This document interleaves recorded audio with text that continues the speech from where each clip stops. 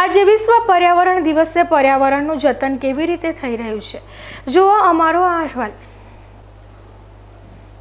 આમ તો પર્યાવરણ દિવસે ઘણા લોકો એક વૃક્ષ વાવીને ફોટા પડાવ્યા બાદ તેની સાર સંભાળ લેતા નથી અને વાવેલા કેટલાય છોડ માવજત વગર બળી જતા હોય છે.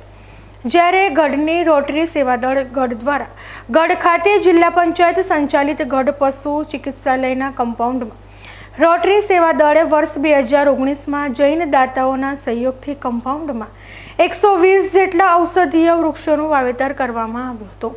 જેમાં લીમડો અડુસી જાંબુ, એલોવેરા તથા અન્ય ઔષધીય વૃક્ષો વાવ્યા હતા.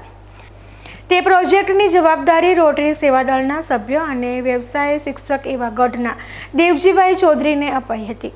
નવયુવાન એવા દેવજીભાઈ ચૌધરીએ ત્રણ વર્ષ પહેલાં વૃક્ષોનું જતન કરવાનું બીડું ઉપાડી લઈ આ વૃક્ષોનું નાના બાળકોની જેમ નિયમિત જતન કરીને એક ઉત્તમ ઉદાહરણ પૂરું પાડ્યું છે. વૃક્ષોને નિયમિત પાણી, કોઈ વૃક્ષ બળી જાય તો તેને ઉદયની ટ્રીટમેન્ટ પૂરી પાડવી, મજૂરો દ્વારા સફાઈ પાણી ન આવે તો ટેન્કર સહિતની કામગીરી કરવી તેમનો કર્મ બની ગયું છે. ગઢ પશુ ચિકિત્સાલયના કમ્પાઉન્ડમાં તમે પ્રવેશ કરો એટલે તમને પર્યાવરણની જાળવણી કઈ રીતે થાય તેનો તમને અનુભવ થશે.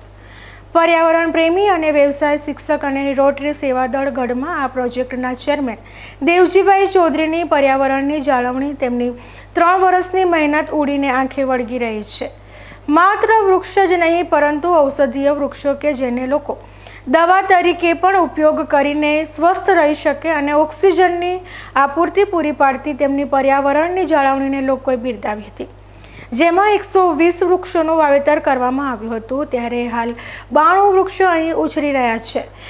આ અંગે પશુ ચિકિત્સક અધિકારી ડોક્ટર ભાવેશ ગામીએ જણાવ્યું હતું કે રોટરી સેવા દળ ગઢ દ્વારા અમારા દવાખાનાના કમ્પાઉન્ડમાં જે વૃક્ષો વાવવામાં આવ્યા હતા, તેનું દેવજીભાઈ ચૌધરીએ જે વૃક્ષોનું નિયમિત જતન કરીને એક નાના બાળકની જેમ સાર સંભાળ રાખીને ઉછેર કરી રહ્યા છે. રોટરી સેવા દળ ગઢની આ સેવા ખરેખર ફળભૂત થઈ છે.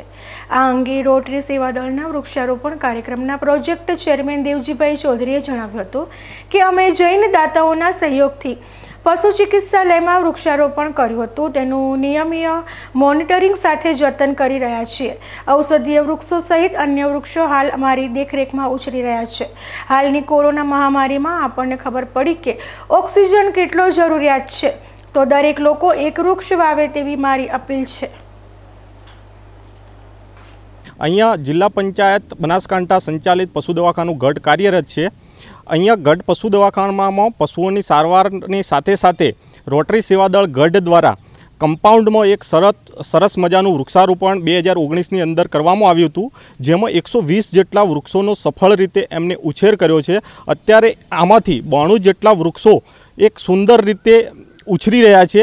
જેમાં રોટરી ક્લબ રોટરી સેવાદળ ગઢના પ્રોજેક્ટ ચેરમેન દેવજીભાઈ કરંટ દ્વારા વારંવાર દેખરેખ રાખી અને વૃક્ષોની ટ્રીટમેન્ટ જેમાં ઉધઈની દવા અને નિયમિત પાણી પાવું, સફાઈ કરવું, આવી તમામ પ્રકારની પ્રવૃત્તિઓ વ્યવસ્થિત રીતે કરી અને અત્યારે કમ્પાઉન્ડની અંદર નેવથી બાણું જેટલા વૃક્ષો જે અત્યારે ઉછરી રહ્યા છે, જેના દ્વારા આપણને જે આપણને ખ્યાલ છે કે કોરોના મહામારીમાં જે ઓક્સિજનની સ્કેરસિટી પડી હતી અને લોકો હેરાન થયા હતા, એ ઓક્સિજન કોણ પૂરો પાડશે? એ આ વૃક્ષો જ પૂરો પાડશે.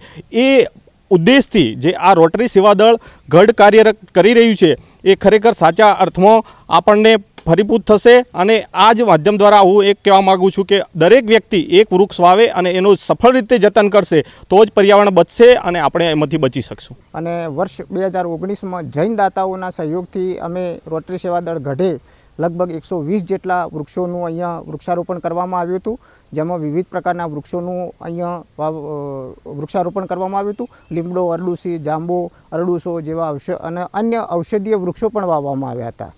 અને આનું જતન કરવા માટે અમે અમને ઉદયની ટ્રીટમેન્ટ છેલ્લા બે અઢી વર્ષથી આપીએ છીએ. તારની વાડ પણ દાતાઓના સહયોગથી કરવામાં આપી છે. જ્યારે જ્યારે જરૂર પડી ત્યારે મજૂરો દ્વારા એની સફાઈ પણ કરવામાં આવી છે. અને કોઈ વાર પાણીની તંગી પડે તો ટેન્કરો દ્વારા પણ એનું પાણીનું સિંચન કર્યું છે. અને એના પ્રતાપે અમે એકસો વીસમાંથી લગભગ બાણું જેટલા વૃક્ષો અત્યારે કમ્પ્લીટ ઉછરી રહ્યા છે. અને આ વર્તમાન પરિસ્થિતિની અંદર આપણે જોયું છે કે કોરોનાની અંદર ઓક્સિજનનું શું મહત્ત્વ છે? અને ઓક્સિજન આપવા માટે વૃક્ષો જ જરૂરી છે. અને જો વૃક્ષો જ નહીં હોય, તો આપણું જીવન જીવવું બહુ અશક્ય થઈ જશે. એટલે આપણે, હું આ બીકે ન્યૂઝના માધ્યમથી એક સંદેશો પણ આપું છું કે તમે બધા વધુ વૃક્ષો વાવો અને પર્યાવરણનું જતન કરો અને આ જે ઓક્સિજનની જે આ તંગીઓ પડે છે એ ન પડે.